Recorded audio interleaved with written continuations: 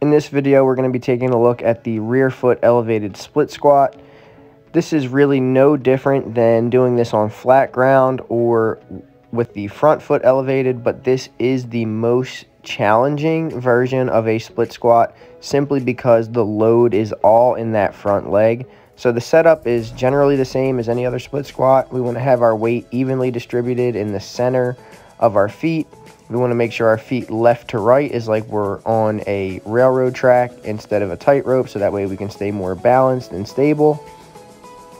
And depending on how you set up for this, it may be more quadricep focus or glute and hamstring focus, but that's something we can break down in another video.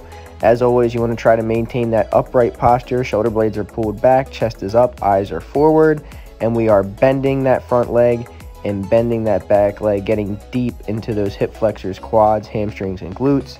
This is a really great and challenging single leg exercise.